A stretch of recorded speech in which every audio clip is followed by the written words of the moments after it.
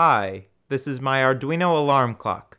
It uses an Arduino Mega, a 7 segment and a 14 segment LED matrix, a Chronodot real time clock, a VS1053 MP3 player breakout, an MCP 9808 temperature sensor, Adafruit's EZ-Link Bluetooth module, and USB powered speakers to display and speak the current time, temperature, and date, and play an MP3 file from an SD card when an alarm goes off.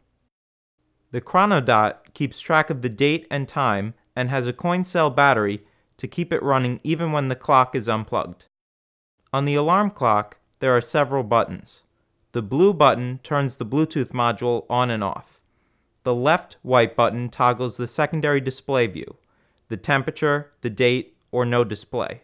The right white button tells the Arduino to say either the time, temperature, or date, depending on whether it is pressed or held down.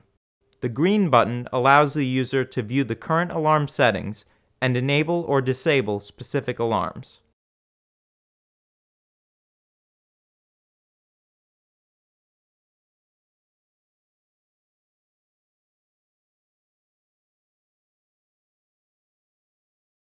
Let's see it in action. The time is 9.05 p.m.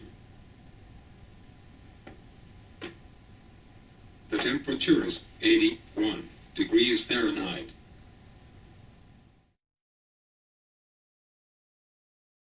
The alarm clock settings can be changed using a Java program that communicates with the Arduino via Bluetooth.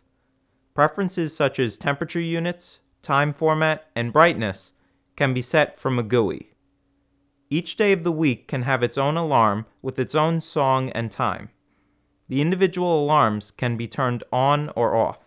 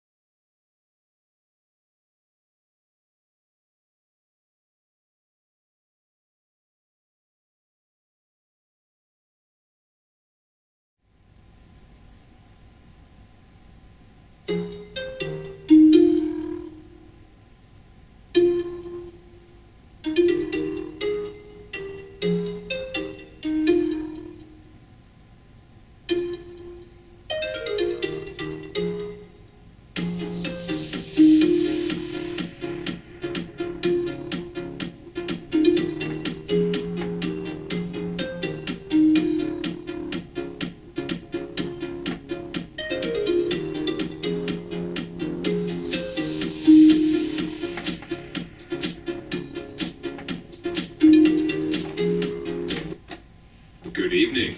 Today is Sunday, August 17th, 2014.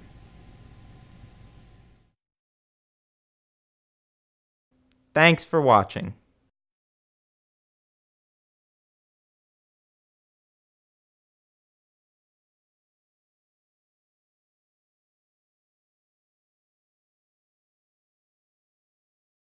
Alex Star Productions.